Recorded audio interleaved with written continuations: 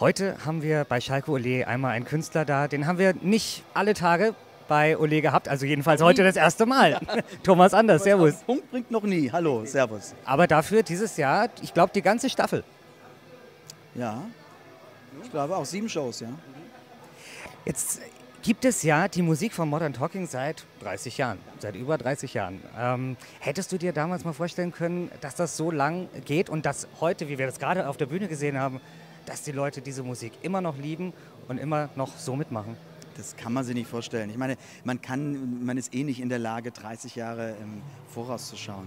Hm. Hätte man irgendwie jemanden die Frage gestellt, hättest du gedacht, dass du vor 15 Jahren mal im Lotto gewinnst? Nein, das kann man einfach nicht. Ähm, ich bin sehr dankbar dafür, dass es ähm, halt eben diese Karriere gab. Und ich arbeite auch sehr viel dafür, dass halt eben diese Songs und dass auch für mich diese Karriere als Musiker auch noch weitergeht.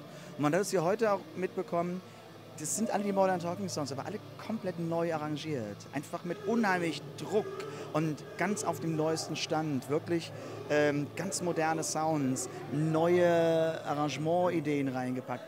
Und ich glaube, das ist etwas, was die Menschen und was das Publikum toll findet weil es damit auch weiterlebt und nicht in den 80ern stecken bleibt. Man nimmt den Song, aber man bringt ihn so, als wäre er 2015 entstanden.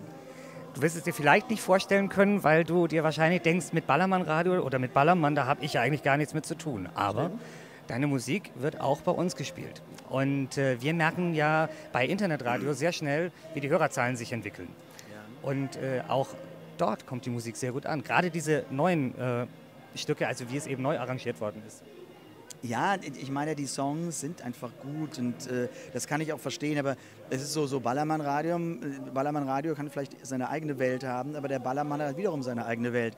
Also und ich glaube, da müsste man unterscheiden. Da muss man sagen, Ballermann Radio ist einfach ein Radio, die gute Laune macht und der Ballermann ist im Grunde vielleicht diese Meile äh, auf Mallorca, wo eben sehr viel getrunken wird. So kommt es ja bei der Allgemeinbevölkerung an. Richtig, das stimmt. Aber Ballermann ist doch viel mehr. Letzte, allerletzte Frage. Was steht für dich die nächste Zeit an, außer die Ole-Veranstaltung? Was machst du? Oh, ähm, äh, ich hab, äh, bin auf jeden Fall, ähm, ich muss jetzt irgendwie Mitte Mai anfangen, Ende Mai, ich muss, ich darf. Ich freue mich drauf, ein neues Album aufzunehmen, das ähm, Ende des Jahres rauskommen soll. Ich bereite mich auf viele Shows vor, ich habe äh, wirklich sehr, sehr viel zu tun. Besonders freue ich mich zum allerersten Mal, äh, dass ich in Los Angeles äh, auftrete, in der Starlight Bowl. Mitte August. Und ich habe heute erfahren, das erste Konzert ist schon ausverkauft. Es geht in die zweite Runde. Also wir haben eine Zusatzshow. Und im September bin ich in New York. Und ähm, ja, es geht einfach für mich um den Globus weiter. Wir wünschen viel Spaß und weiterhin viel Erfolg dabei. Vielen Dank. Danke. Danke.